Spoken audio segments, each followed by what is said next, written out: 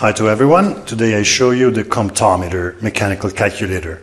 It's different from all the others we've seen as it uh, works on a different uh, mechanism inside and uh, basically it only does additions whereas the others were capable of doing addition and subtractions. This one does only additions. But it can be used to do subtractions and division as well. Now I'll show you how.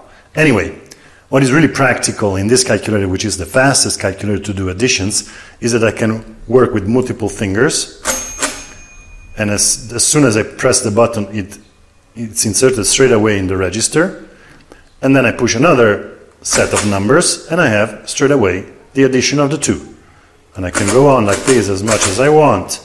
People were trained back in the past to use 10 fingers, so they were really, really fast. I believe even faster than a uh, digital calculator because in a digital calculator you can only insert one digit at a time.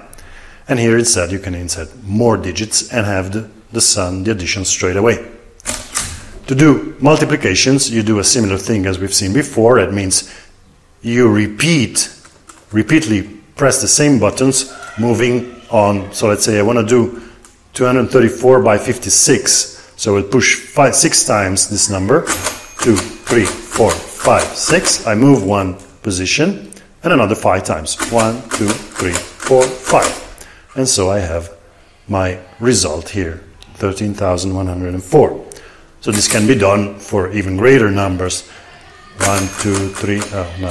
There's a button here. If you don't push one of the buttons enough, so it stays somewhere in between, everything is blocked until you finish your pushing, and then you can unlock it with this button.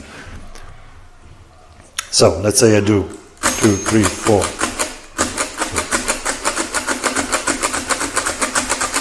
So you see, it's quite fast. As long as the number is not too big and you need to use two hands, you can do multiplications quite quickly by moving the same position of numbers to the left.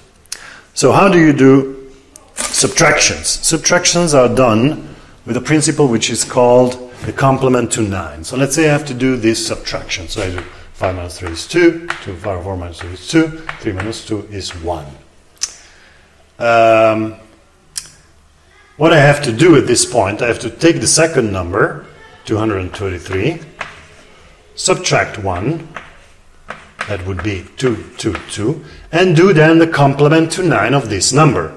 Complement to 9 means the difference between 9 and this number, and that would be 7, 7, 7. Right? Because 2 and 7 is 9, 2 and 7 is 9, 2 and 7 is 9. If now I do an addition of these two numbers, I've already written it here. So 5 and 7 is 12 with 1. 4 and 7, 11 plus 1, 12. 3 and 7 is 10 plus 1 is 11. I have to take away the carry and I have the same result. It seems a little bit complicated, but apparently if you practice a little bit, you will get to do it quite quickly. Okay, so the comptometer helps us because you see very close on near each number I have a very small number which is already uh, the complement. So I know that if I have to add 222 I have to watch uh, sorry I have to subtract 222 I have to watch these small numbers and then do my 3 4 5 plus 222. And I'll obtain 1122, which is actually too big because we should take away this one. So what the calculator allowed you to do is to push this little lever, and I have to do it with one hand, while you push the number to be subtracted. And in this way, I have the correct result because the, the carry mechanism is blocked by pushing this little number here. So now with this concept, we could do divisions as well, but they are quite complicated, I have to be honest. And I have practiced a little bit and I won't do it. Anyway, in English especially, you find a lot of videos which will show you how to do divisions with a comptometer.